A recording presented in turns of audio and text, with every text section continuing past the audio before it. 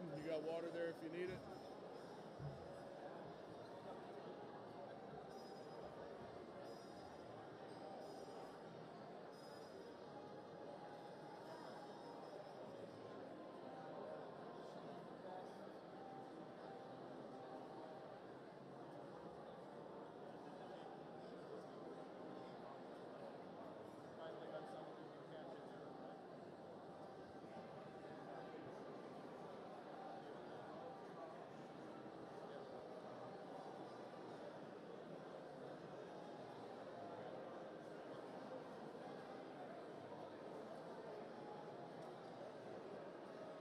Ladies and gentlemen, for the last time until November of 2024, you will hear me request please find your cell phones and silence them. Cell phones, please. Thank you very much.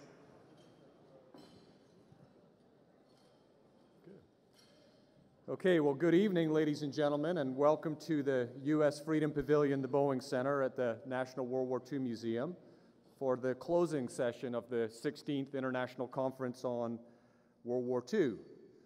As you can obviously see, we've decided to leave the Madeleine and Paul Hilliard Conference Center at the Higgins Hotel, which has just been a wonderful venue for us for the last few days, so that we can have this closing session on Masters of the Air under our own warbirds, including, of course, our B 17 My Gal Sal.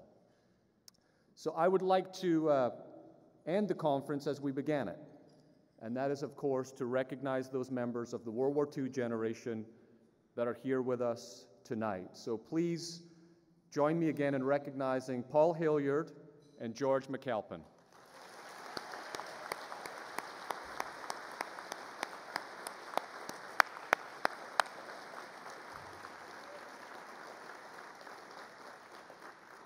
Paul, it was wonderful to start our day off today to hear from you and, and Rob Citino. And as we've said many times, thank you for everything you and Madeleine do on behalf of the museum. And uh, George, thank you again. It was very special to have you here on your big 100th birthday here at the National World War II Museum at this conference. So we'll see you next year for 101.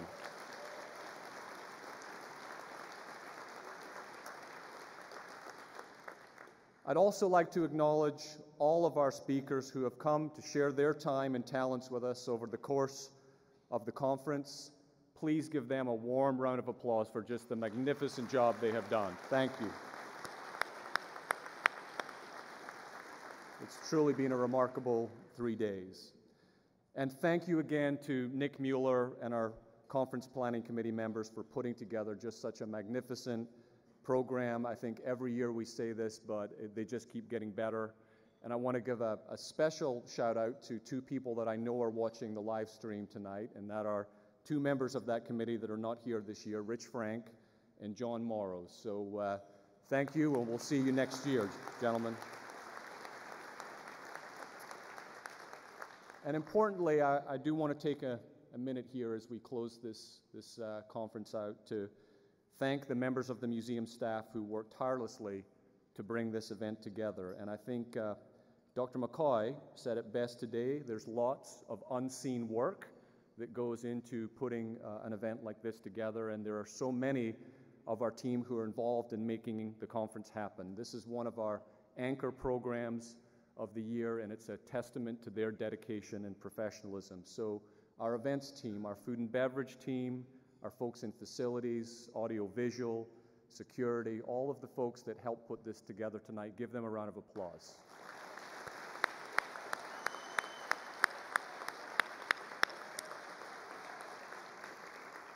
And of course, uh, everything takes money and resources, and I want to acknowledge the work of our institutional advancement team for the great work they did securing sponsorships for this our travel and conference team, who have been integral to the success of this event since the very beginning.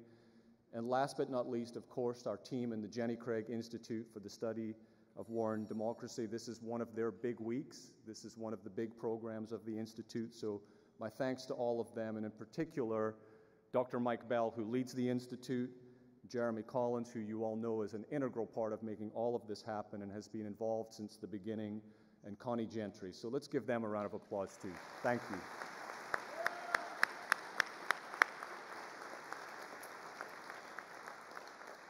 And as we said several times throughout the week, um, we, are, we owe a, a, a, great debt of gratitude to the Pritzker Foundation, Pritzker Military Foundation, on behalf of the Pritzker Military Museum and Library. I want to thank Colonel Jennifer Pritzker, Susan Rifkin, and everyone at the PMML for their support over the last 13 years. It has been a huge part of making this event a success. So let's give them a round of applause, too.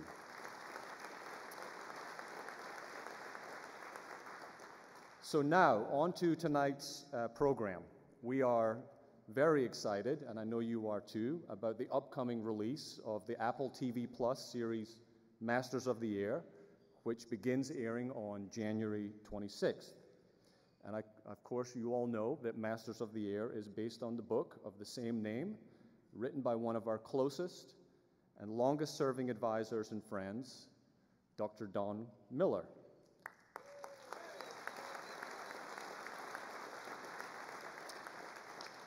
Don has generously lent his time and expertise to the museum over many, many years. He is a founding member of our presidential counselors, a member of the conference planning committee, as I've said. He's been a featured historian on travel programs, teacher training sessions, and, and much, much more.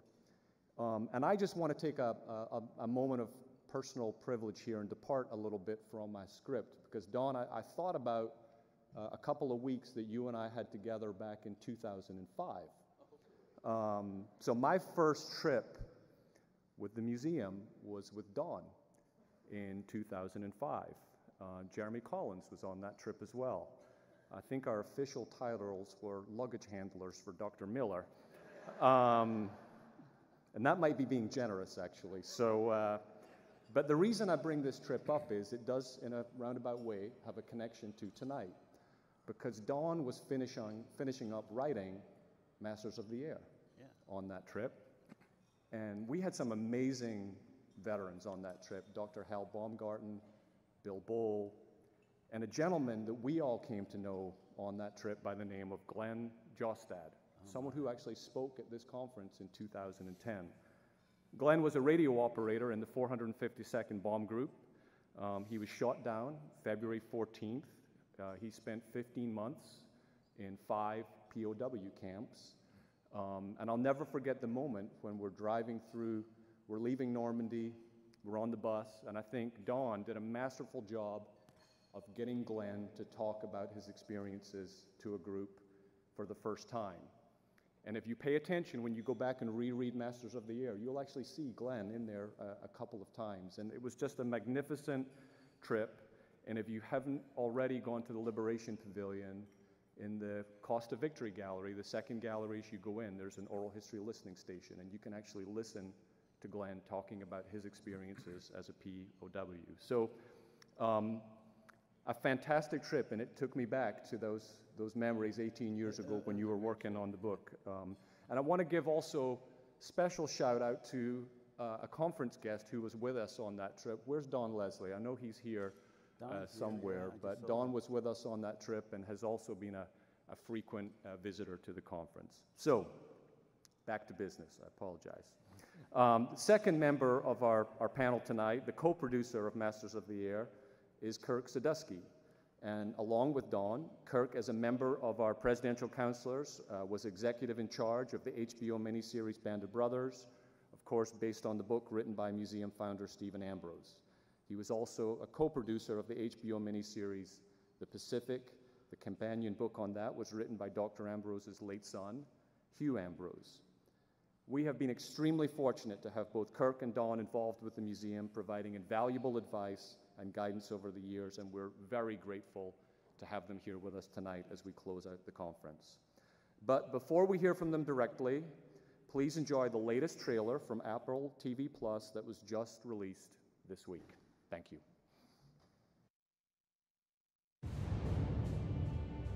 So you're happy? A girl worth riding to is hard to find. Not if you know where to look. I'll miss you every second. Major Egan, you were the first pilot assigned to the 100th. Me and Buck Cleven. You are in charge of 35 planes and 350 air crewmen. Thought you'd die on me before I get over there. Something big is brewing. The 8th will be sending up the largest air armada ever assembled in the history of mankind. Straight into Hitler's territory. We need complete and total air superiority. That's the mission. What? You might be the last pretty face I ever see.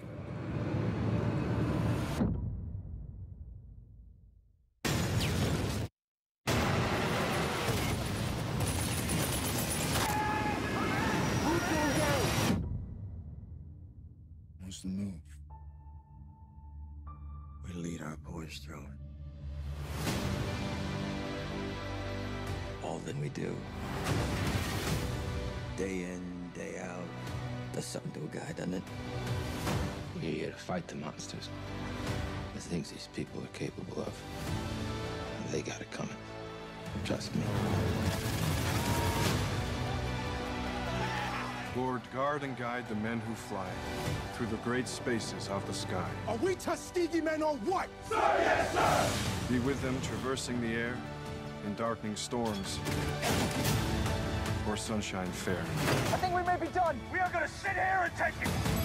We're gonna stick with our mission as long as we can fly. We won't go without a fight.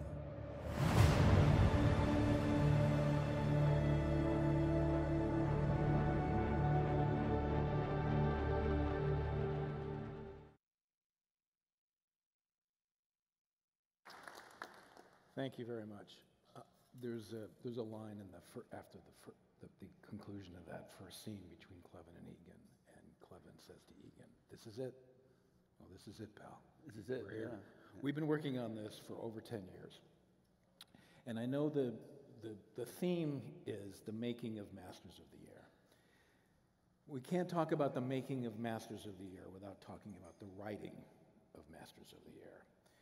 And I'll get into why we chose Don's book and all of that, but I, I'm very curious, and you and I have spoken about it many times, including earlier today.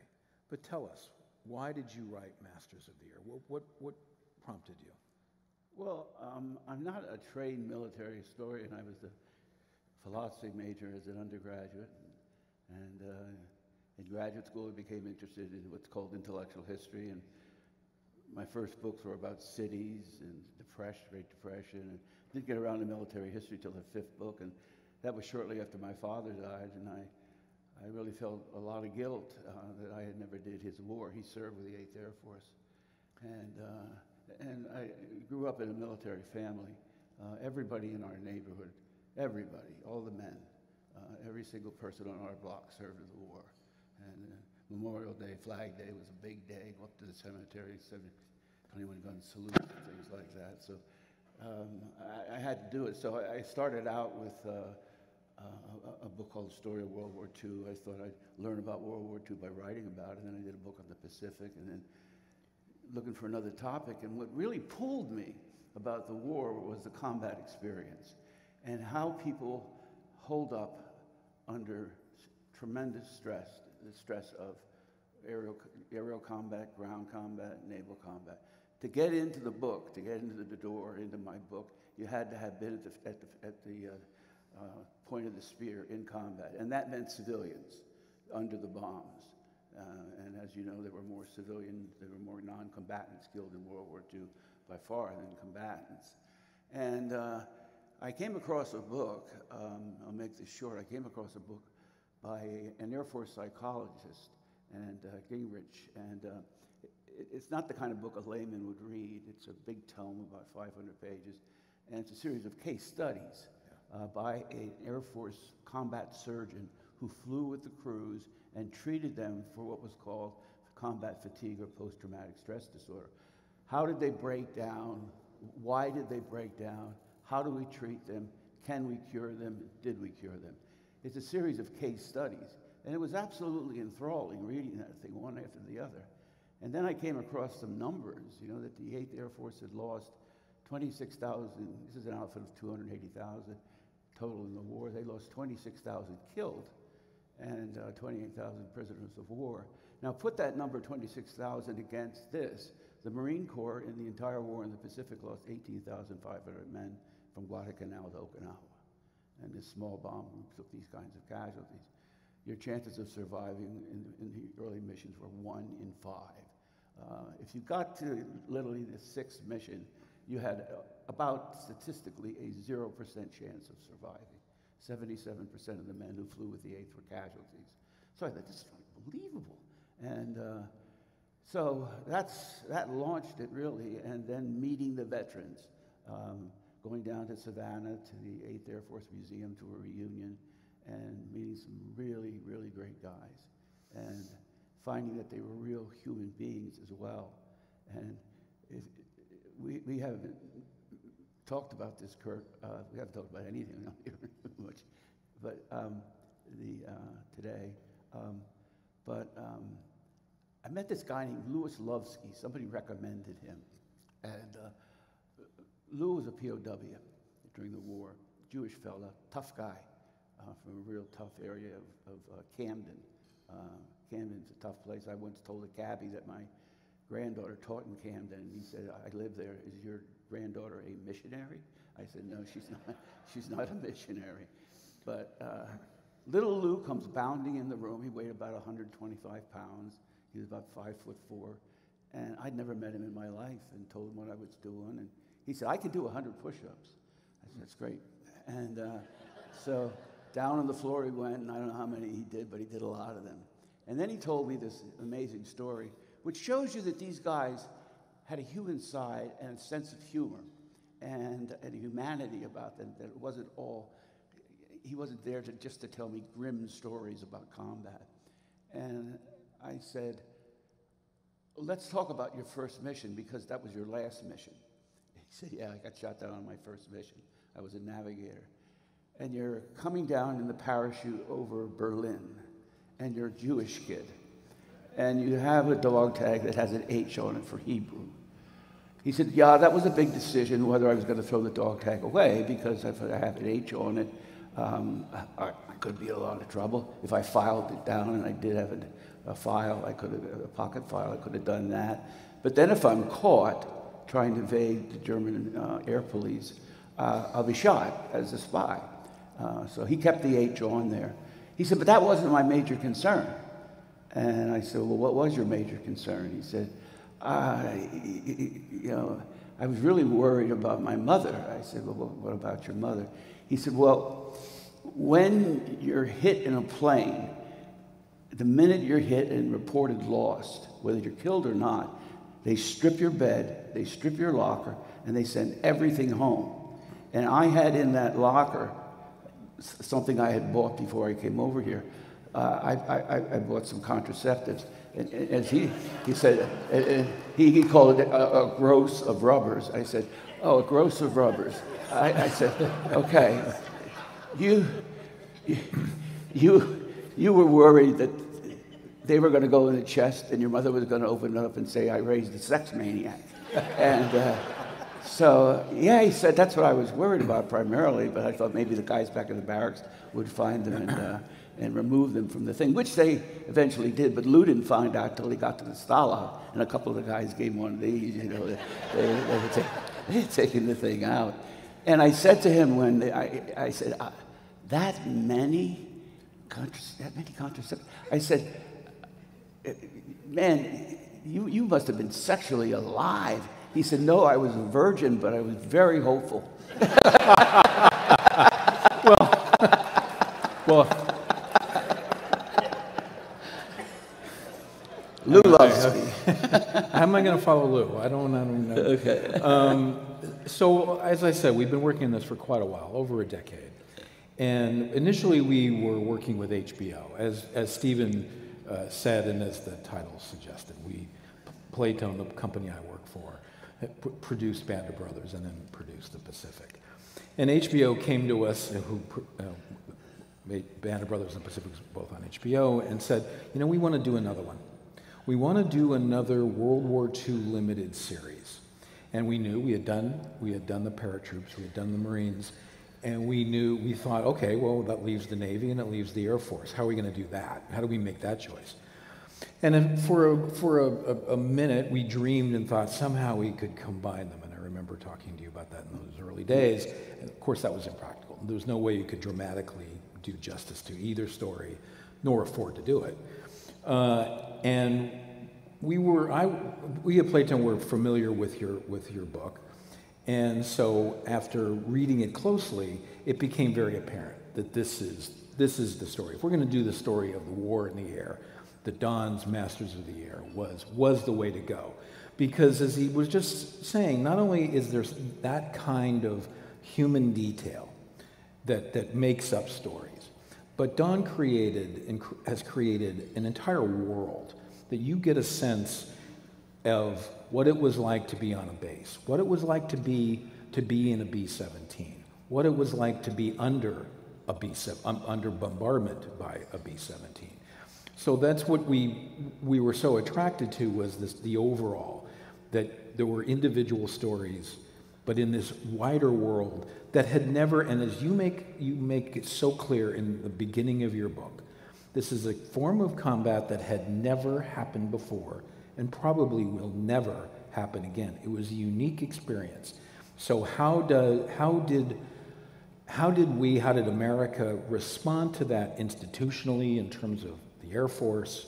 And how did primary men um, respond to that individually? And that's what Don does constantly throughout the book. You, you open your, and when, but he, this is a history of the 8th Air Force during World War II. That's an enormous subject.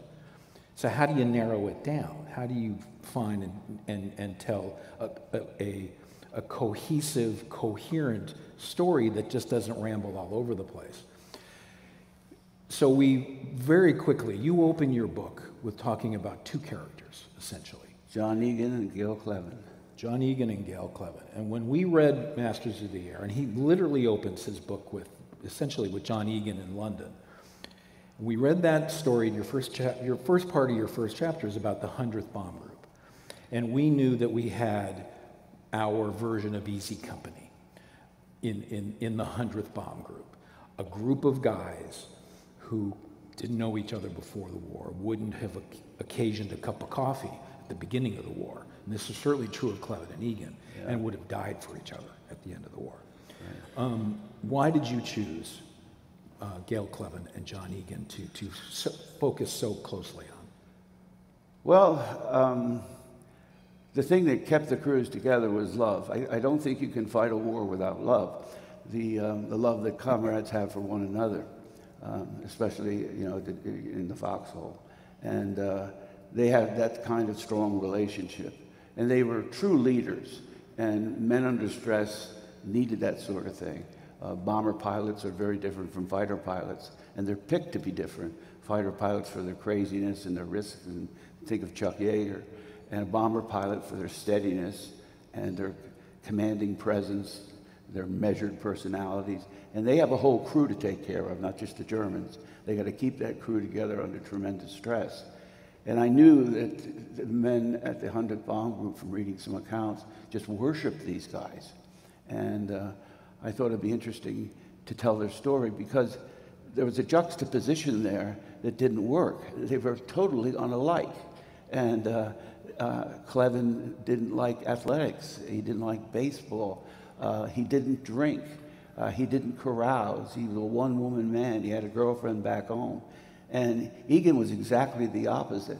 He was in the bars every night, raising royal hell. You refer to him as a, Damon, a character out of Damon Runyon. Yeah, he is a character out of Damon Runyon, and he read all the Damon Runyon works, and even tried to talk that smart aleck Fifth Avenue. Damon was that smart aleck Fifth Avenue uh, accent, but totally different guys, and yet they bonded so closely together. And also, you know, and read a little bit ahead, they they both get shot down at just about the same time. And uh, in fact, when I opened the book, Egan is in London on leave. They'd just gone through an absolutely catastrophic mission, harrowing mission. And um, he goes out to buy a newspaper after breakfast, and he reads that the 100th had hammered uh, Bremen. But then he sees that you know, like 40 forts were lost. So he calls, goes to a, a little red booth, and he calls in in code, and he said, "Did we have a game yesterday?" And uh, Red Bowman, the operation officer, said, "Yeah." How did we do? He said, "We didn't do too good." Uh, how many guys did we lose? We, we lost a lot of guys. What about the big, the big hitters? What about the big? They're all gone. They're all gone. Uh, are we going to do it again? He said, Yeah, there's another game tomorrow. And then Egan says, I'm pitching. I'm pitching. And he goes back to the base and he flies with a raid against Munster that becomes a, um, a revenge raid. And uh, we'll talk about that raid in a second. And on that raid, too, was a character named Robert Rosie Rosenthal, who drew me in, and he was the guy I most respected. Uh, I could talk in a second about, uh, well, I'll give you just a quick biography of Rosenthal. Uh, Jewish kid from um, Flatbush, loved the Dodgers, uh, poor family, um, didn't go to synagogue, he loved jazz music, and uh, went down to New York City to, to the record shops. He's an All American athlete, Brooklyn College, had a terrific football and baseball team. He's in their Hall of Fame in both sports. Went to law school, aced it out, got the best job of anybody in his law school class, and was sitting at his desk when, um, you know, there's rumblings that the Japanese might hit somewhere in the Pacific. Then Pearl Harbor weekend. On Monday, he's at the recruiting station, signs up, goes over, and usually these bomb groups went as a group. The 100th went as a group, so he joins them as an outlander. He's a, he's a replacement, so he has to work himself into this thing. And uh, when he gets there, he quickly rises to the top because he's very disciplined, uh, very cool under pressure, and a, uh, a fantastic leader of human beings, but not boastful in that sort of way. He flies um, 25 missions and decides to re up. He says he's not re upping because, uh, that he, because he's Jewish. He knew about the camps. He said, I'm re upping because of Hitler. Uh, he's a barbarian. And as long as he, he's running that country, I'm flying my plane. And he goes for another 25 and then tries to go for another 25. Is shot down, captured by the Russians, of all people, taken to Moscow, dinner with Averell Harriman. Tried to get back in the war. He wanted to serve in the Pacific. They sent him back home. He went back to his old law office and he said, I am bored to shit here. And compared to the war, this is, this is a job, the supreme job of my life. And, and, and, and it's just shuffling papers. So he reads about the Nuremberg trials and they need trial lawyers. He signs up. He boards a ship for, for Germany. Meets a young Navy uh, lawyer, uh, Phyllis and Hellier, and they fall in love. Rosie said, Well, I didn't know whether I was in love or I was seasick, but it was really working. and, uh, and they both prosecuted, they prosecuted, uh, Phyllis prosecuted um, the, uh, the prisoners. Uh, well, she prosecuted the Nazis who persecuted the, pri- the prisoners that ran the, uh, the oil and chemical plants in, uh, in Austria and Hungary and, and just a horrible thing. Rosie helped to prosecute German civilians who had uh, committed atrocities, beheadings, you know, wiring guys' hands behind their back and throwing them into the fiery buildings that they just bombed. He prosecuted them. He interviewed Keitel.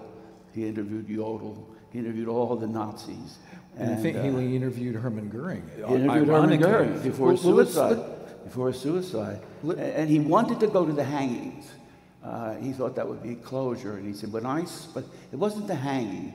He said, when I saw these trumped up, you know, barbarians, uh, reduced to ciphers, in prison clothing, depressed, red eyed, sputum coming out of the side of their mouth when they know they're going to be hanged. When I saw that, it, it, it was closure for me. Phyllis was pregnant, and we had to go home, and the trials were over. And he told me that story when I first met him. Uh, I had to pull it out of him. He never wrote about it. But uh, well, Don, well, Don let's. Um, I had a character there. you you certainly did. You had a hell of a character there, and I think that's what really. Once we decided that it was Don's book, and then more specifically the hundredth, then which characters in the hundredth. And as Don has just described, it becomes it becomes very obvious very clearly. Initially, it's it's Egan and Cleven, and if anyone's familiar with Greek mythology, they, they pretty much they reminded us of Plato of the Damon and the, the, the most iconic uh, friendship in Greek mythology, Damon and Pythias. They really are very much like that. But then we knew that, that we wanted it to be more than just the story of these two guys and the friendship. It had to be a little bit wider. So who else could we focus on? And Don just told you. It was Robert Rosie Rosenthal. Because if they were, if Cleven and Egan are Damon and Pythias, Rosie was Sir Galahad, the perfect knight, the perfect airman, the perfect warrior. Um, so Don gave us these characters, he gave us this world, and then, of course, we have to do it. Um, in the, the, clip you saw and in the show, Major Cle- Gale Cleven is played by Austin Butler, which you saw, and Major Egan is played by Callum Turner, who will be in a movie that's coming out just a couple weeks, Boys in the Boat. He's the star of, and I think you're going to get to, you'll see a lot of Callum. And then Rosie is, is portrayed by Nate Mann, who who's terrific. Who's terrific. Um, you, we've, in Band of Brothers in the Pacific, we got to know, I got to know Playtone, Gary, and Tom got to know um, a lot of the men that we portrayed. Certainly in Band of Brothers, there were dozens of them, from Major Winters through Bill Sergeant Guarnere and, and, and Lieutenant Lipton. And then the Pacific, we got to know quite a number of the guys as well. Unfortunately, in Masters of the Air, none of the men that we portray survived, uh, survived uh, uh, lived. So we never got to meet them. We did meet some members of the hundredth who knew them, but we didn't get to meet them. So it took a lot of research. Who were these guys? And and I know getting to know, we've worked very closely with all of the families, the, the, the, the Rosenthal family, the, the, Crosby family, Harry Crosby, who's our, our fourth leading character.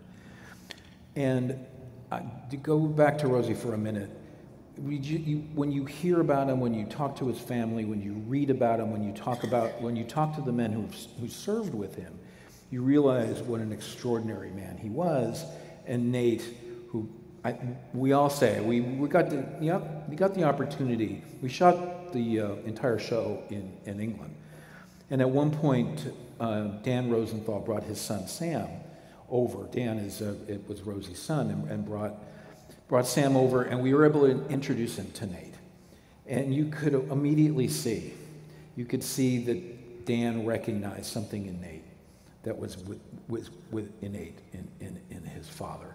Um, you came over to England for a while. And you yeah, came over yeah. and, and, and, spent some time. We, we, it, we were in England for, I want to say, about nine months shooting this on, on, on we had four primary big locations. Each location was almost the size of a small municipal airport.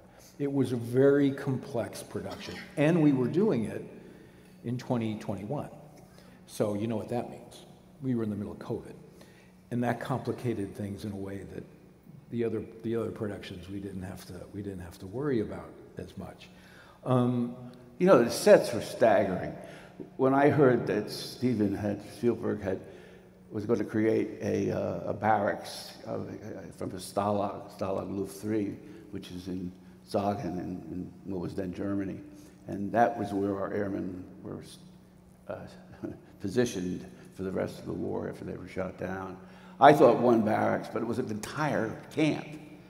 I thought, my God. And then I went over to Oxford and I saw at Abingdon, and the 100th was stationed at a place called Thorpe Abbott, it's a bomber base 2,500 people in the base, intermixed with locals and farm people working their lands while the planes are flying.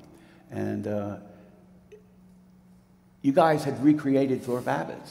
Well, look, I, you know, I, I will say one of the interesting, and you know, one of the reasons that I think hopefully this series works is the devotion to detail that everyone on the production paid.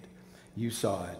We, um, one of the best days that we had was Thorpe Abbotts is currently the, the, the air base that the, that the 100th flew out of is currently a, a, museum in East Anglia. And we got to know the, and it's all run by lo- uh, locals, it's volunteers. And it's obviously a work of love for them. And one day we were able to um, bring Deb- Deborah Hubbard, who runs the museum, and her staff, some of whom have worked there for since the war, Yeah. since they, they created the museum. And to have them come in and see the briefing room, the Nissen huts, and one gentleman, Ron Batley, who grew up in Thorpe Abbotts, broke down because it was so authentic. And that's, that's it's in many ways is the key. It, it was one of the keys. There's no one key. But the art department run by uh, our, our production designer, Chris Seagers, and the, the, war, the costume department and our costume designer, Colleen Atwood, the, the devote on, on, um, on the tail of, of uh, B-17s in the 100th Bomb Group is a big D. The 100th is the big D. Well, the big D in our production is devotion. Devotion to detail, because it was from top to bottom, whether you were the department head or you were a seamstress, you were a department head, a prop master, a PA.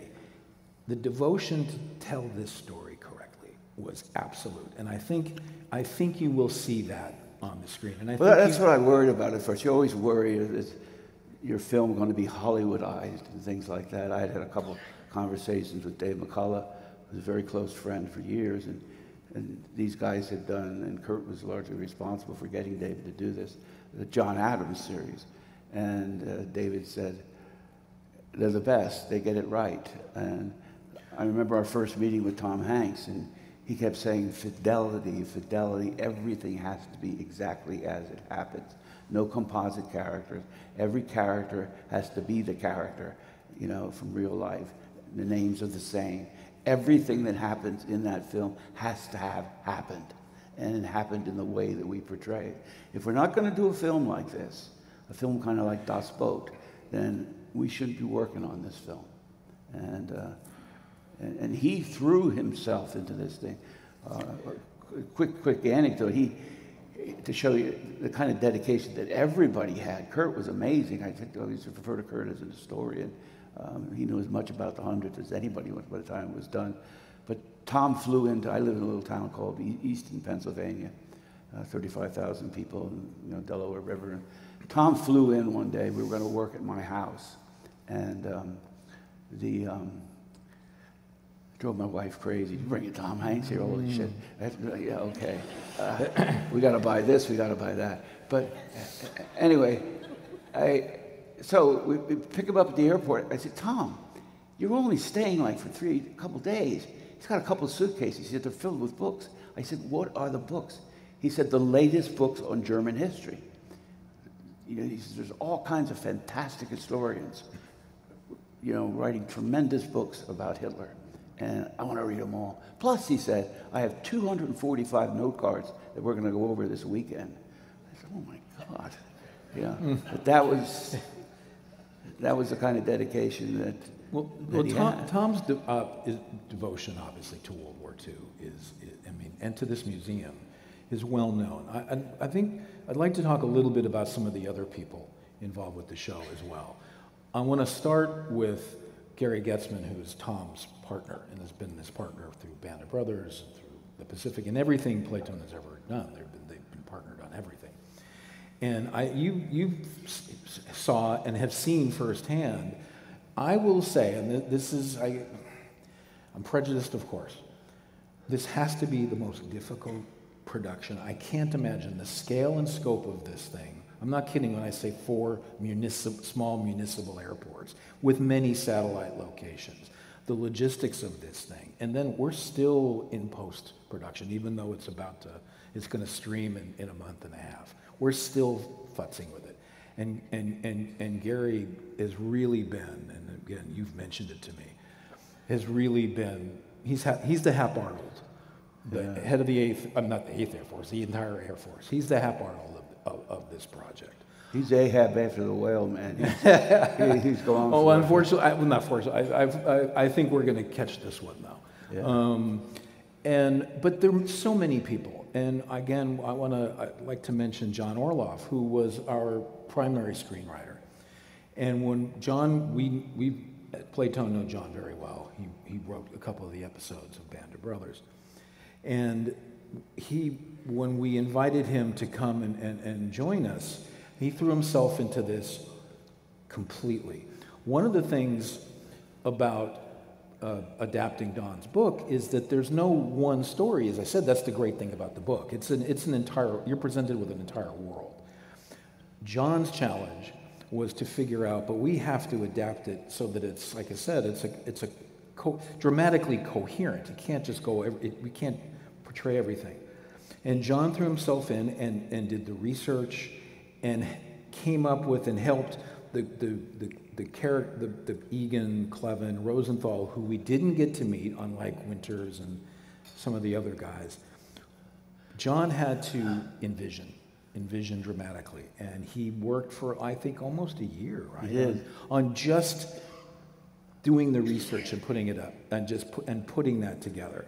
Don worked very closely with John. At, um, he called me, you know, and we talked for eight, nine hours, and uh, just about Gale Cleven, because it, it, it was serendipitous, but it just so happened that I was the only person on the whole project that had met these guys.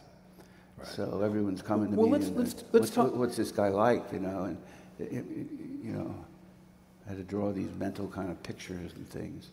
Well, because you're the only one who's met them, let's talk about them a little bit and, and, and throw, and Harry Crosby too, because we have a, a, a very important fourth member of, um, who's in, in all of our episodes. When we meet him, he's Lieutenant Crosby. He ends up as a lieutenant colonel, and he was a navigator. And he was the one character that we have who was at Thorpe Abbotts from the beginning. Yeah. In 19, they, uh, our, our guy, the 100th was formed in at Thorpe Abbotts in May, June of 1943. Harry Crosby was there from the beginning all the way through May 1945 Right. in VE Day. You met Harry Crosby. Yeah. Tell us, and you'll you'll you'll get to know Anthony Boyle plays uh, a wonderful Irish actor plays um, uh, Harry Crosby and does a, a spectacular job. Well, these airmen were wonderfully talented human beings. I mean, Gale Cleven went on to get a PhD in astrophysics and became a college president. Uh, and he's just a roustabout from Montana who had an alcoholic father. Uh, They're interesting kinds of characters. Harry was um, bubbly, excitable, um, inefficient at- first, scared out of his wits, worried about his incompetence. And slowly, as the film evolves, you see him coming into himself. Uh, he falls in love briefly, uh, and he has a wife back home, but he falls in love with this English girl. He gets to become a lead navigator, a tremendously responsible position, getting the bombers to the target so they can do the bombing. And uh, worked himself into such a tizzy before D Day that he passed out and slept for three days. Yeah, Don't just- give it all away. yeah, oh, yeah, yeah, yeah. But, Well, it- but, that- it- but Harry, and, and Harry had a sense of humor, and his book, A Wing and a Prayer, is, is terrific, and it, it gets you into the internalities of what it's like to be on a bomber base, which is a community that's integrated with the villagers, and um, and they're part of the story uh, in the film and in my book, as are uh, the people in London and the Germans under the bombs. Uh, When you- go ahead. Oh, I'm sorry, Don. But, but when you do something, when you undertake a project like this, you can't just the, this happened and that happened. There has to be some, again, some thematic consistency. And I think there were two primary themes uh, in our in our series, and one Don has already touched on. It's the irony that war is impossible without love.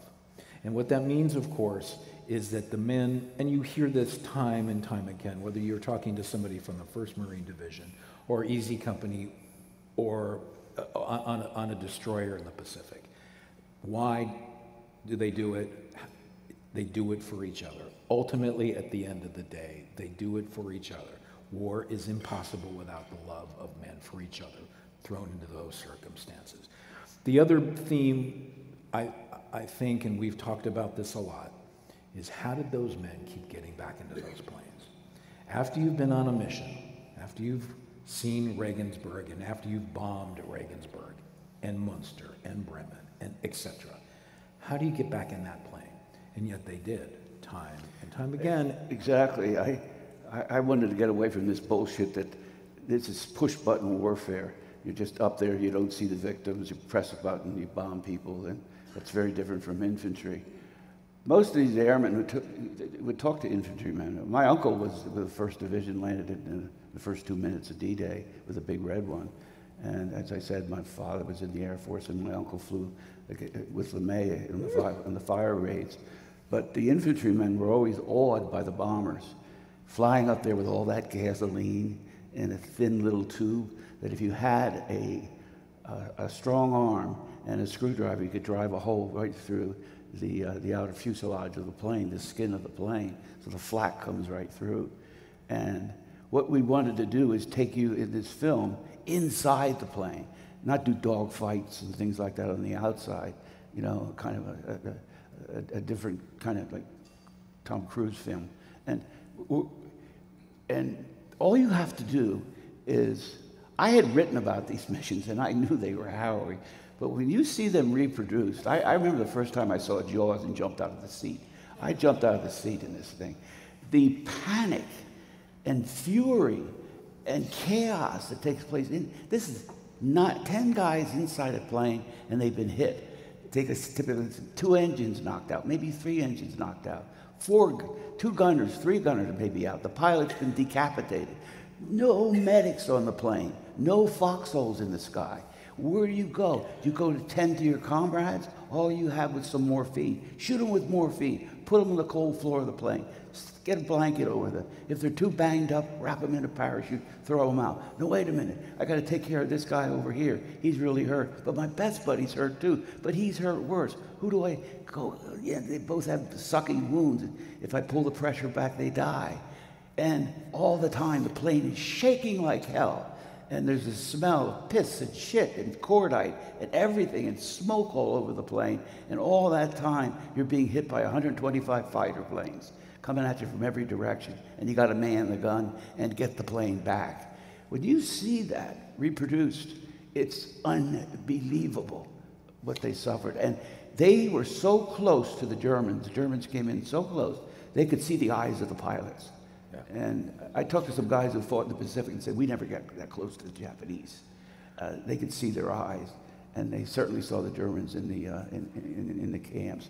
But that's what really impressed me. And, and a quick note on that the cameraman had a tough time moving around inside the constricted fuselage, which is much more constricted than a submarine tube.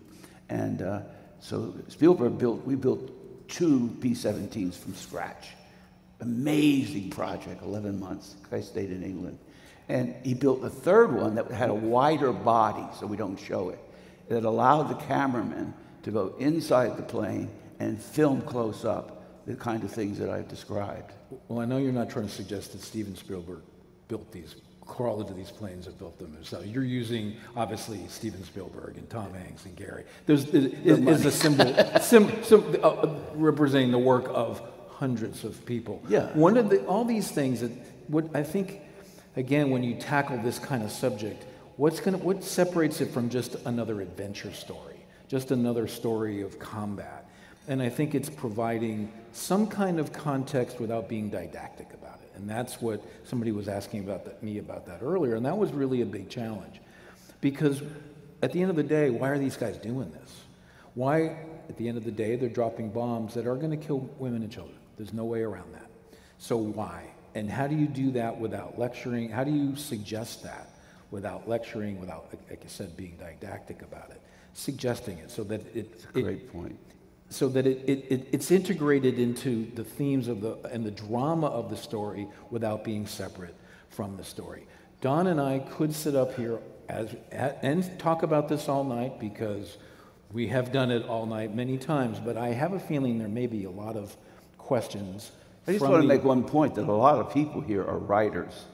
And you'll know that one of the central dilemmas that we faced was how do you move the story along dramatically while building in interpretation without having the interpretation slow the narrative. Uh, that's hard to do. As Yeah, all of you know, you don't, right? you- you don't have narrative time to stop and explain who the Nazis are, what they did, why they, why they had to be beaten. You, you can't do that. You have to keep, you have to keep going. Once you're on, once you take off, you have to keep going.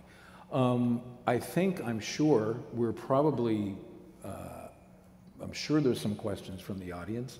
Jeremy, are we, Yeah, are how we about a ready to do that? Applause for Kirk Saduski and Don Miller.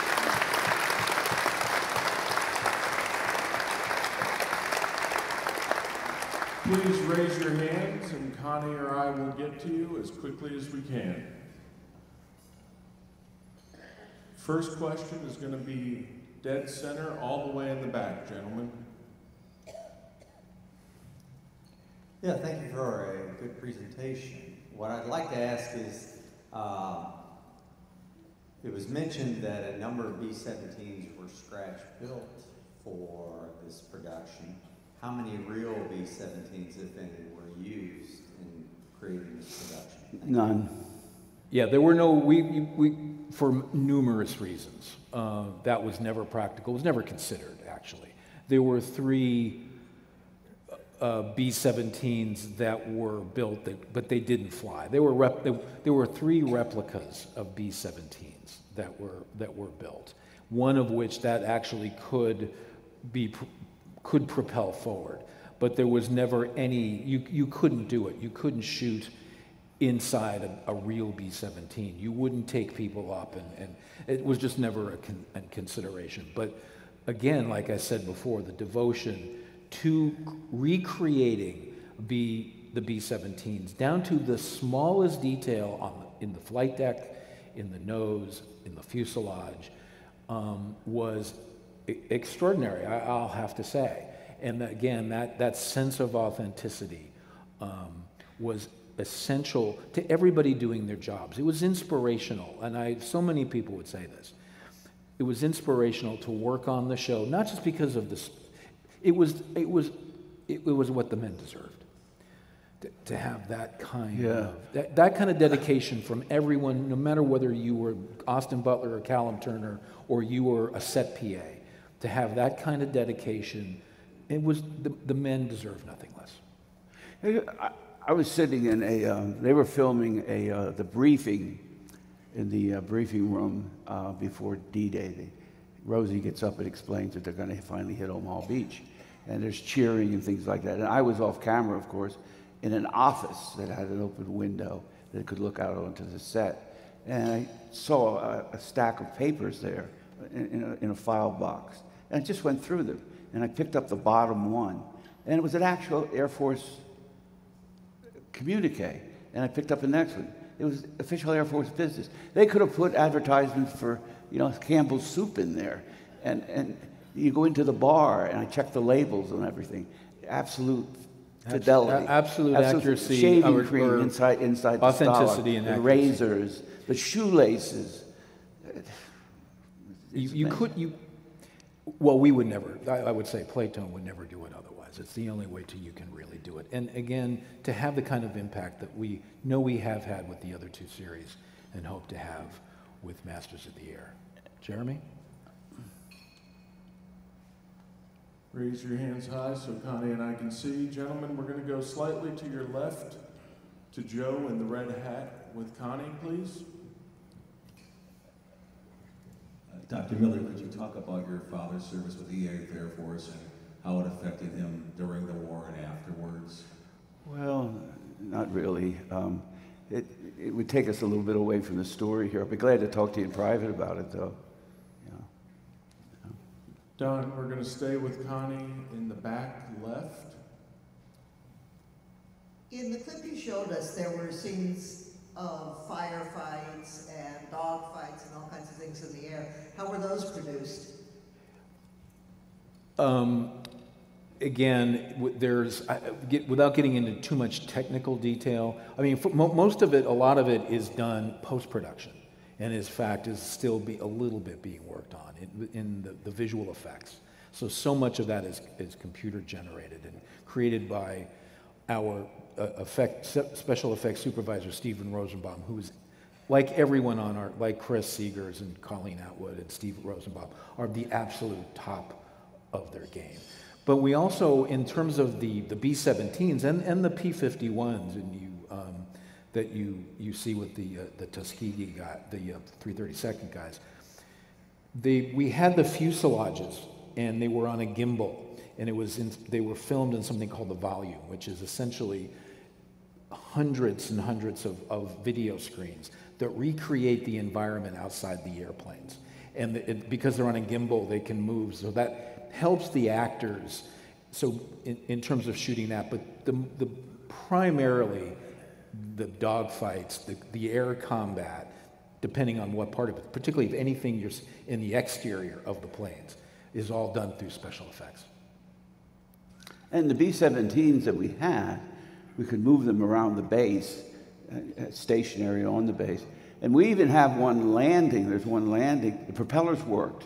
And they built these enormous cranes with wires on them. And you see this thing coming in, and you don't see the wires, you don't see the cranes or anything, and you see it landing. And it, look, and it is a, an actual yeah. B 17. Yes. So we tried to use it. It was quite as an little CGI as possible. The, yeah. the logistics, as I, as I suggest, were, were, were, were enormous. Next question is to your right in the front row. Uh, Don, you know better than anyone else the controversies over the effects or the uses of air power in World War II. It's a big question, but how do you think about the contribution of air to the war? What, what, what effect did these heroic figures have on the outcome of the war? Well, there were several um, uh, bomber wars, and they had various stages. In the beginning, just to go through quickly, in the beginning, bombing was um, catastrophically ineffective. Uh, the bombs were, we were bombing uh, submarine pens in Saint Nazaire. The bombs were bouncing off German reinforced concrete um, storage places uh, like ping pong balls. And the city was Saint Nazaire, and they called it Flak City, and they were losing planes. That's the 12 o'clock high story about how do you keep men motivated when they're not carrying out the mission. That is, they're, they're going to the target and they're getting hammered. The bombing's ineffective, and the casualties are calamitously high. And uh, so we evolved from that in, in, in, the story to the point where they're doing serious damage on the, uh, on the German economy to the point where in October of 1944, German oil production was down to 6%. That's when they learned how to hit German oil by killing it by a thousand cuts. This idea of pinpoint bombing is an oxymoron. It doesn't exist. And you don't knock out a plant with one raid. You had to go back and hit it and hammer it again and again. Um, one particular raid, one particular plant in central Germany, an oil mill, they hit it 120 times, 120 separate strikes to knock it out. But when you were bombing out there, uh, you're not killing a lot of civilians because the spillage goes into uh, it's like the area outside New York, uh, the so-called Meadowlands, you know, and uh, it's just a mess of oil refineries and whatnot. But if you go into, when we really started to get, uh, Con Crane and I were talking about this today with Kirk, um, as we're producing a, a, a um, what, what, do we call those things we're doing? We're going to keep that a secret for a moment. Oh, okay. All right. But well, let me, can, Don, let me, we, we let take me, the gloves off at some point, in other words, and, and we're, we're bombing in the center of cities because we're hitting the one target that really works, and, and that is um, marshaling yards where all these trains gather together so you don't have to hit the jet production factory and the, in the coal head mine site or the electrical system. It's all there.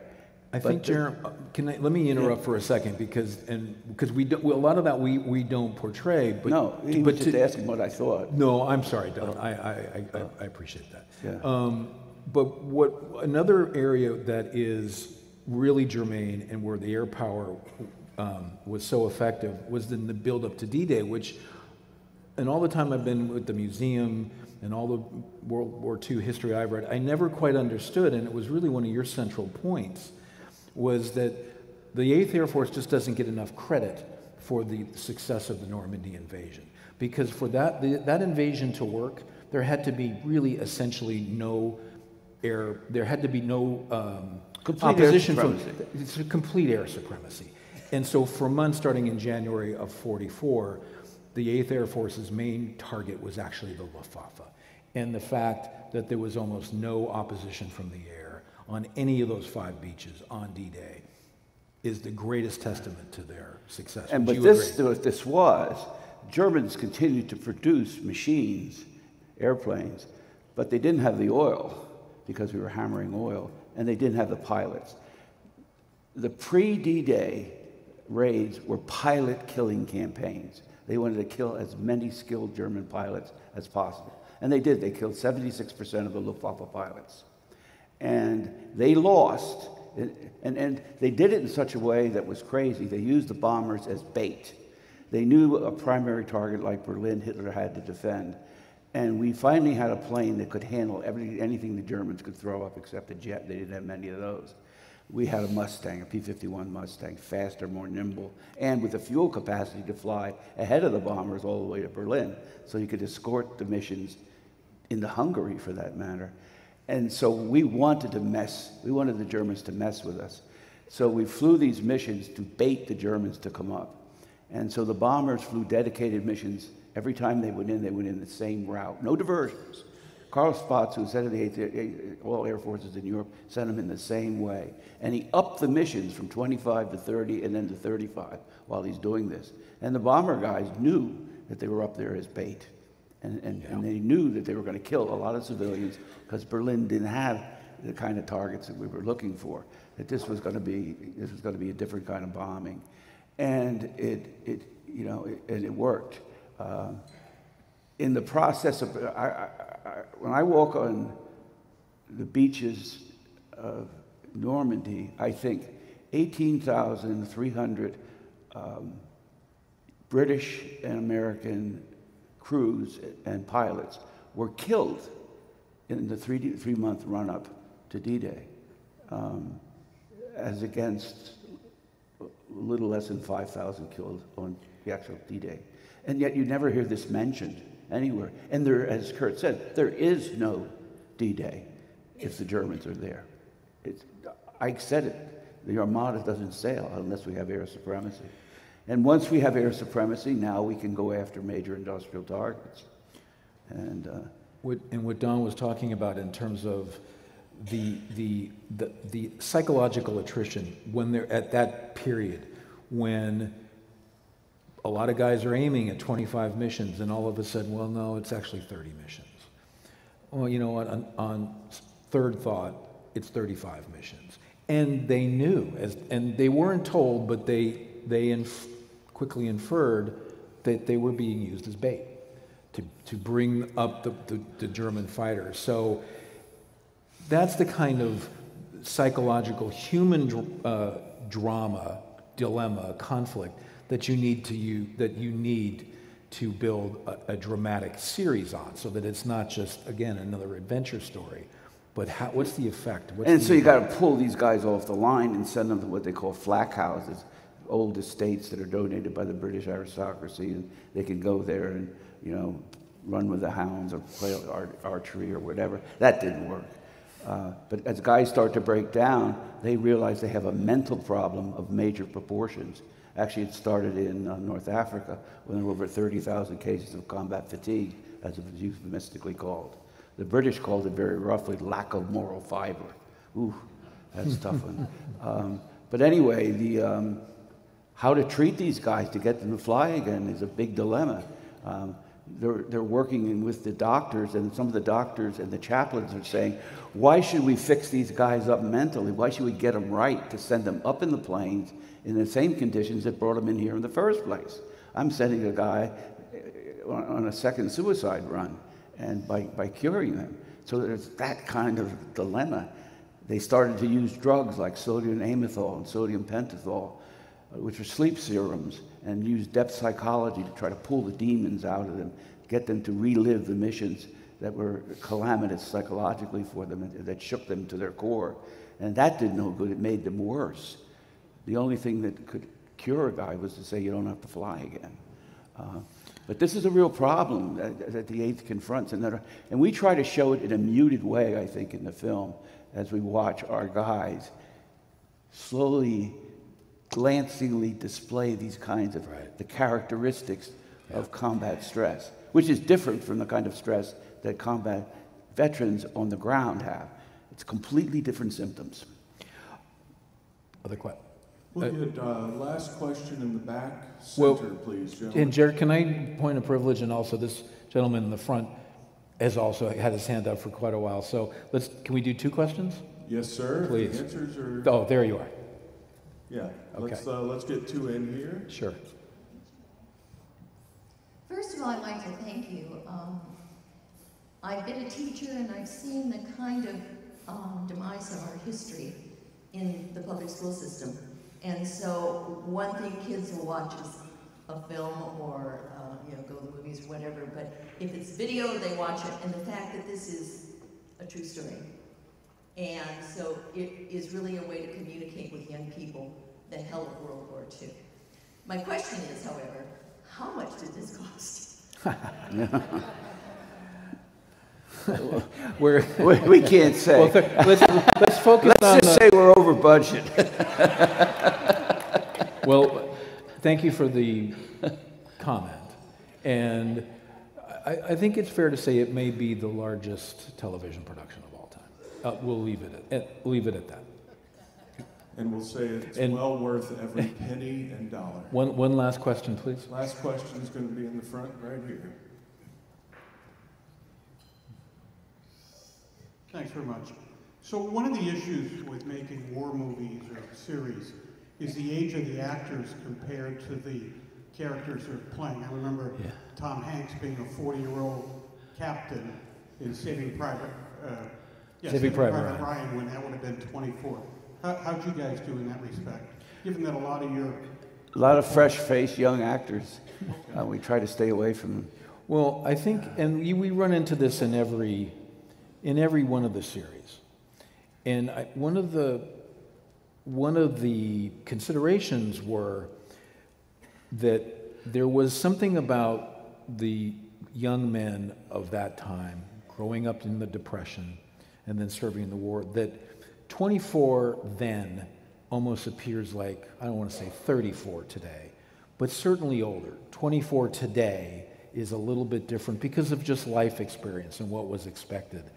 And what, what people around the world, young men around the world, but in America had to do. So you end up, for a variety of reasons, casting older than the actual roles, but could be, because that's how they, when you look at archival footage of, of World War II, you're, you don't, I mean, I, you just don't think you're looking at 19 year olds, although you are. When you look at, at, at the World at War or some of the Ken Burns stuff, they, men who were 22, and there also the other thing is, we were talking about this today, the responsibility. You just, it, it, a fresh faced 19 year old, even though that's what they were, it's almost, I'm not sure you would buy it that that kind of responsibility could be handled by a 25 year old. So you tend to cast a little bit older. Yeah. Uh, I just want to make one other comment uh, about, I, I was really impressed by what you said about dedication, because that's what hit me, the dedication uh, and commitment of the crew members. I'll give you one little anecdote. I was working with Tim Van Patten on the last, um, the ninth volume, if you will, of the series. And uh, his enthusiasm uh, now, this is a guy that's won Emmy after Oscar after Emmy, you know. I mean, he, he's the best there is in, in a lot of ways. He's a great actor. And he sat me down and he said, I read your chapter on Moosburg, which is this gigantic catch basin of a prison camp with 100,000 people in it. The Germans were moving, uh, not just the Jews, but the prisoners of war to the, to the west. And most of them were at Moosburg, which is outside of Munich. And there is the uh, the American infantry invades that area. There's a big firefight just outside of Moosburg, and, and then it spilled into Moosburg, and then it spills into the camp itself, and there's chaos and everything else. Anyway, and Patton comes and, and liberates it. So Tim says to me, I read the chapter, but I want you to tell me about it. Now, I sat there for six and a half hours and told him every detail. He didn't take notes, but he, it was like registering. And he said, Can you come back tomorrow morning pretty early? I said, Well, how early? He said, Like five, six o'clock. I said, Yeah, I'll have my driver bring me back over to the main studio. So I got there, and um, his assistant said, He wants you to close your eyes and then go into that room. And uh, because he was in London shopping last night, and I went into the room, and he had models of tanks that kids play with tanks and flags and troops and everything, planes coming in. It was, it was like something you got for Christmas under the tree. And it was a perfect recreation of the Moosburg battle. He had done it overnight. And I said, How did he get these toys in the middle of the night in London? He said he was banging on the doors of shops and things like that, having the shopkeeper open the toy store, let him in there, and he bought all this stuff. And, and the point, though, and I know we have to wrap up, Mike, um, is that, again, it's the dedication. Because he, the, that eye to detail, and he wanted to show it to you because he only understood it through your words. Now, Yes. this is how he's interpreting it, and he wanted to see what you thought of that. Thank you, Don. Ladies and gentlemen, uh, Don and Kirk and Mason Masters of the Air.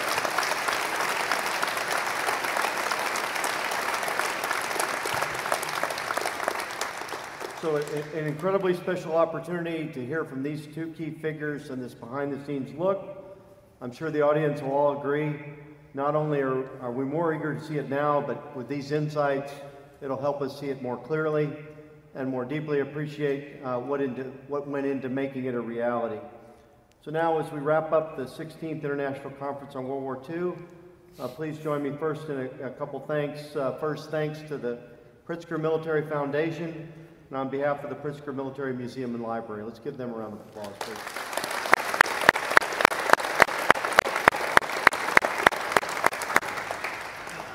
Next, uh, to all our speakers throughout the weekend, uh, you really made this incredible. Thank you.